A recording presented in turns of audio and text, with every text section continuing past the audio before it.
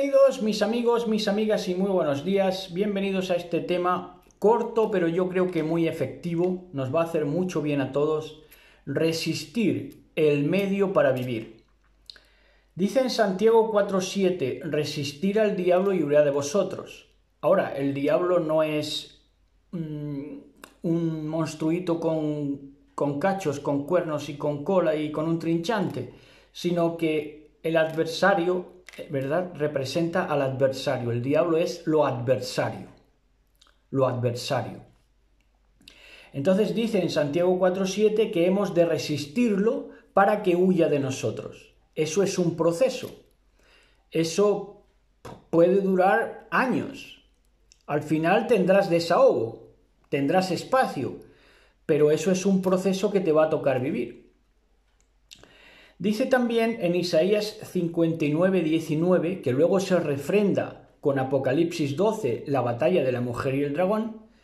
En Isaías 59, 19 dice que vendrá el enemigo como un río contra el pueblo de Elohim. Vendrá el enemigo como un río. Por eso luego en Apocalipsis 12 el dragón arroja, ¿verdad?, agua como un río para asediar a la mujer. Pues esta es la misma escena en Isaías 59, 19. Vendrá el enemigo como un río. ¿Como un río de qué? Como un río de Smithes o de Smiths, ¿verdad? ¿Se acuerdan de Matrix? Ese Smith que salía por todos, por todos lados. Son guardianes del sistema. ¿De qué sistema? De este sistema actual, que es un sistema muerte. Se puede resumir en un sistema muerte. El bien con mal lleva a la muerte de la ciencia del bien y del mal. El bien con mal lleva a muerte. Ahora, en esta forma de resistencia, que aquí va el mensaje, hemos primero de delimitar, segundo, definir y tercero, disfrutar. Delimitar es cuando tú pones límites de esto es bueno y esto es malo. Te, lo, te los pones a ti mismo, mira, esto es bueno, tócalo, esto no es bueno, no lo toques. Y también lo pones a escala de, de pues, de, de tu mundo, del mundo que te rodea, ¿verdad? Sabes discernir, esto es bueno y esto es malo. Esto me lo quieren hacer tragar, pero es malo. Esto no quieren que ni lo pruebe, quieren que ni lo pruebe, pero es bueno. Eso es delimitar. Eso viene antes de definir. En la definición ya has delimitado, has separado lo que es bueno y lo que es malo, ahora defines. ¿Por qué esto es bueno? Características, evoluciones, significados, ¿verdad? Y ya pormenorizadamente lo desarrollas, lo desglosas todas las definiciones. Eso enriquece tu vida a tal punto que ya lo siguiente que te toca es disfrutar. Pero eso es un proceso de resistencia. Es decir, siempre, mientras el mundo sea el mundo, tendrás que delimitar, definir y disfrutar. Eso forma parte de lo que es resistir al diablo, resistir a lo adversario. Los sistemas opresores tenían una finalidad. ¿Cuál finalidad? Descalificarte. Descalificarte a ti como individuo haciéndote delinquir. Entonces tenías un sistema opresor en el que la noticia era quien no delinquía, por eso te forzaba el grupo a qué? A delinquir. Pero hemos vencido, más que vencedores. Hemos vencido porque nos hemos abstenido de toda forma de, toda forma de violencia, cuando era fácil descalabrar a alguien, ¿verdad?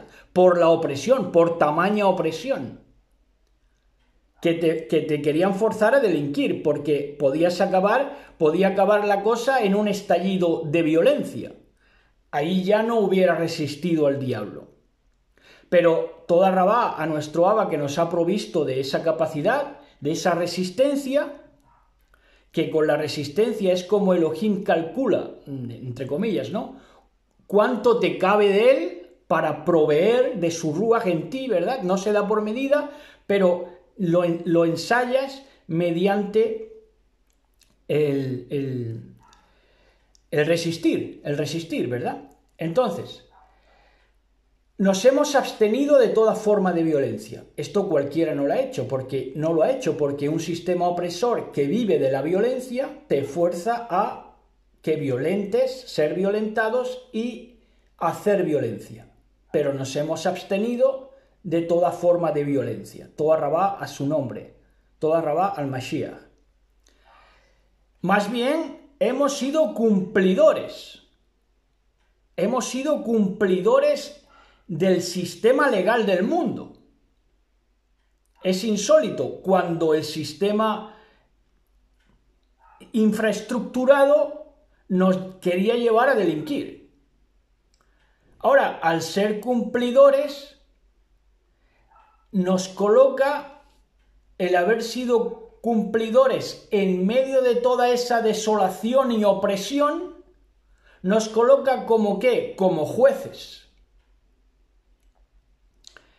En el 2012 empezaron a circular libros en torno a las profecías mayas y todo eso, que realmente pues eh, no se vieron en ese año específico, pero sí en la desenvoltura, ¿verdad?, de los años posteriores.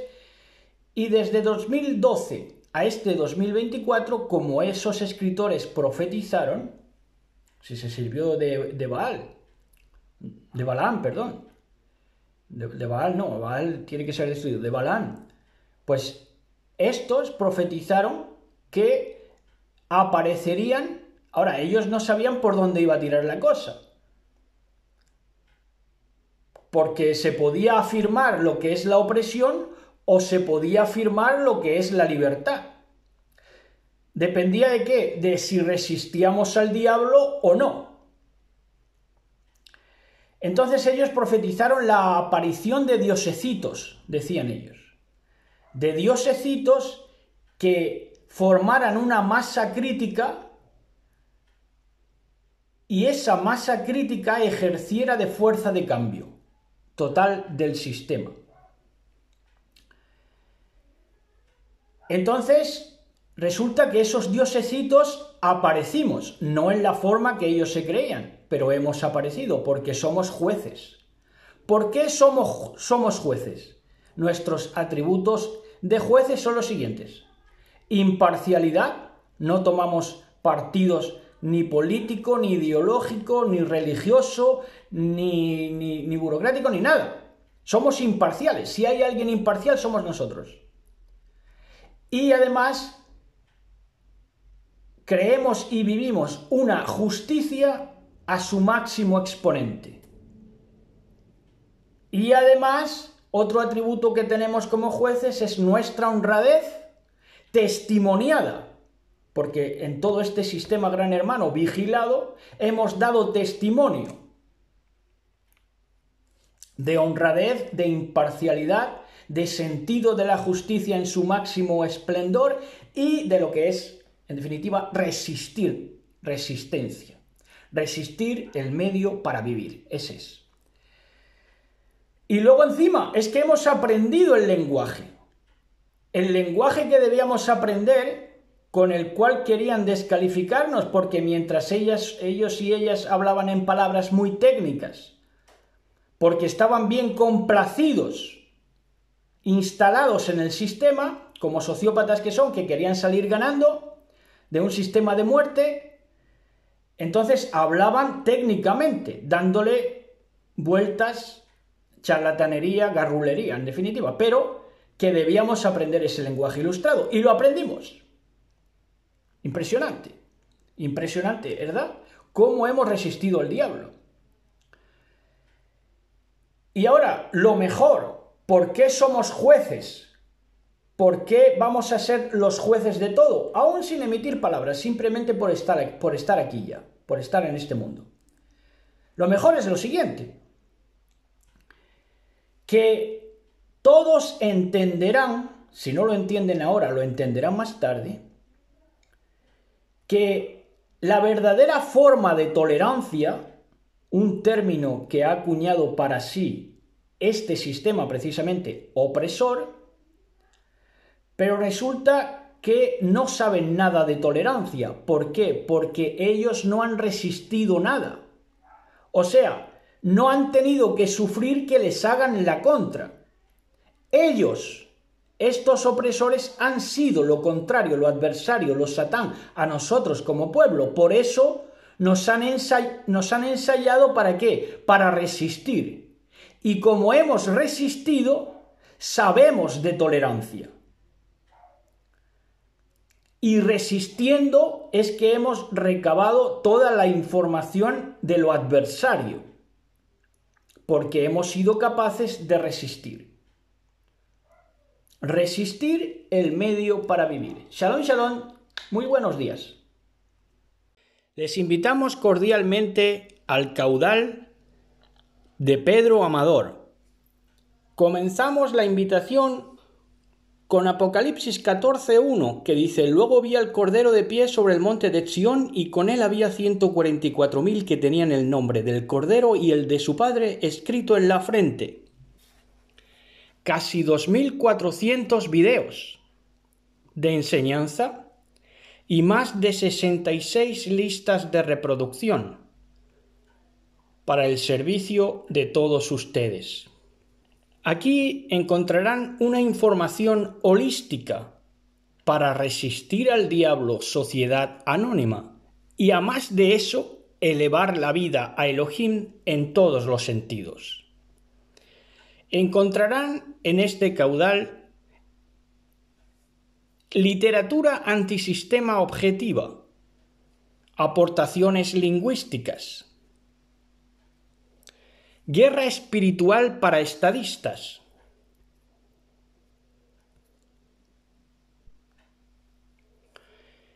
Traducciones bíblicas desde los interlineales. Filosofía integrada en la presentación teológica.